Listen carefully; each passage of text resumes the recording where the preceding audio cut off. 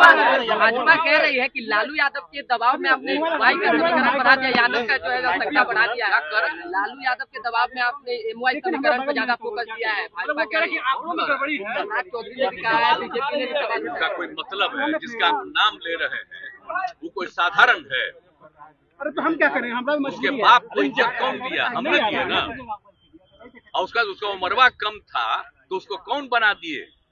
MLA मंत्री? अरे क्या कर रहे हैं? इसके पिताजी बना दिए और उसके बाद उनको छोड़ करके आया हम उसको मंत्री कहाँ बना दिए और उसको छोड़ करके गया आज गया है रोज पार्टी बदला उसका कोई मतलब है? कोई पार्टी नहीं उसका कोई सेंस नहीं है। उसकी बात क्यों करते हैं? उस चक्कर में है कि अंड बंड बोलेंगे उसका कोई मतलब है? पाँच राज्यों में नाम होना है। कोई सेंस नहीं है उस सबका देखिए उसकी चर्चा मत करिए। आप बोल दिए तो आपको हम बता दिए। अब तो अपनी तो अच्छी अच्छी अब तो बीजेपी है वैसा ही देख रहा है ऐसा ऐसा लोगों को कहो जो सबसे ज़्यादा बढ़िया है लोगों को बना दिया है ना हम वैल्यू देते हैं है,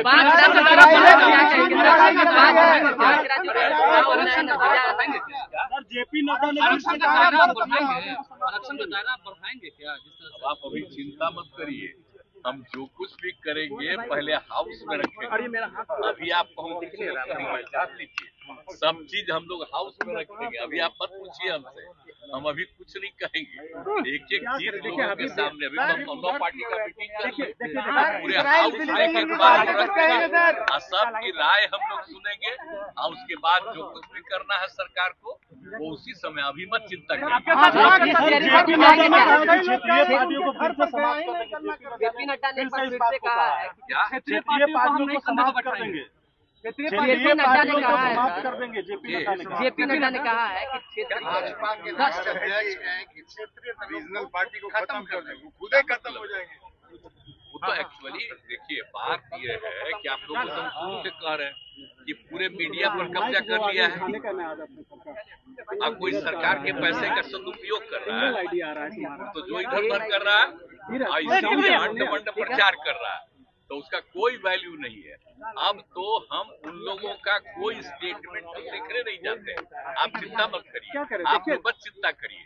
उन लोगों के चाहने से कुछ होगा अब अगला चुनाव में जो हम लोग जितना सब लोगों को एकजुट कर रहे हैं और जनता का जो हालत है तो अगर वो निर्णय ले लेगी इससे मुक्ति होगा तो देश बहुत आगे बढ़ेगा। सर। ये भी बात है। लोगों के ऊपर कुछ नहीं कहना चाहते।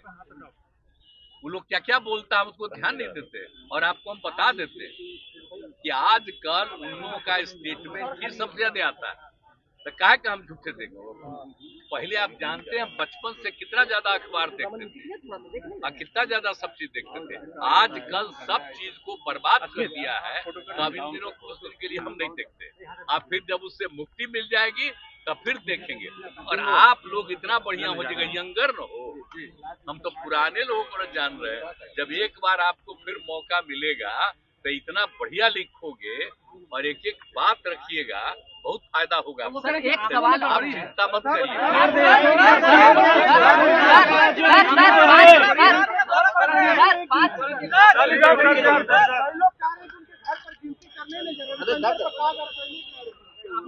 है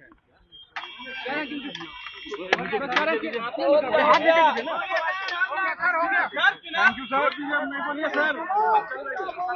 भाजपा गुट नमस्कार, मैं हूँ मानक गुप्ता। अगर आपको हमारा ये वीडियो पसंद आया हो तो इसे लाइक और शेयर ज़रूर करें। और हाँ, हमें सब्सक्राइब और फॉलो करना ना भूलें, ताकि आप देश और दुनिया की कोई खबर मिस ना करें। तो जुड़े रहिए हमारे साथ और देखते रहिए न्यूज़ 24